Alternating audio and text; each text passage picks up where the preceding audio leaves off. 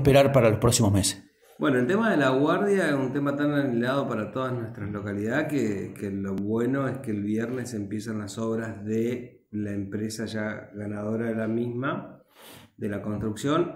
Empiezan un plan de obra que por el momento no va a afectar la circulación de la guardia, eh, va, a transcurrir aproximadamente unos 30 días, 30-40 días más o menos en ese plan de obra. Luego se hace un, una modificación del circuito del ingreso de las personas a la guardia, que claramente van a estar señalizadas y sociabilizadas, que es el plan de contingencia para seguir atendiendo el mismo job room y la, y la, modalidad de los consultorios de, atención. Claro, cabe, aclarar que, la guardia es una urgencia, ¿no?